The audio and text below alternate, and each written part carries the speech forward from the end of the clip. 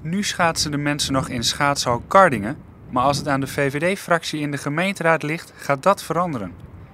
Zij willen namelijk dat de ijsbaan wordt omgedoopt tot Marianne Timmerhal. 9 en 10 januari hebben wij hier in Groningen eh, het NK Sprint. Ja, ik denk dat er geen mooiere gelegenheid is dan dat. Om in ieder geval haar carrière nog eens goed in het zonnetje te zetten. En misschien nog een steuntje in de rug om nog een mooi einde te maken aan die carrière.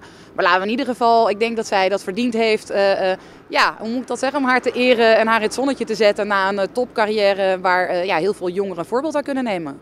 Marianne Timmer heeft ondanks haar val begin dit seizoen nog geen einde gemaakt aan haar carrière. Hiermee zou zij dus een van de weinige nog rijdende schaatsers zijn die een hal naar zich vernoemd krijgt. Ik denk dat je, hoe moet ik dat zeggen, een, een topprestatie ook uh, mag waarderen en mag uh, eren. En ja, ik bedoel, waarom zou je wachten? Ik bedoel, het is niet alsof die prestatie nu nog niet groot genoeg is. En de steun in de rug kan ze goed gebruiken op dit moment.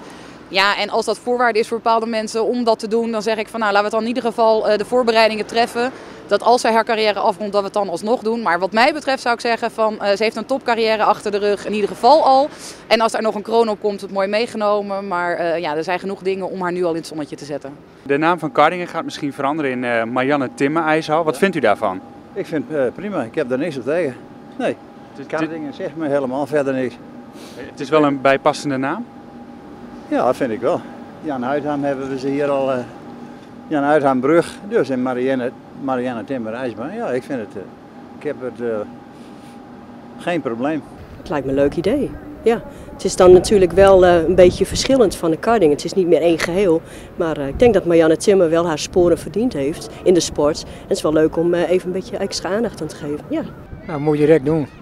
Ja, mooie naam. Mooi als karding. Karding is ook goed.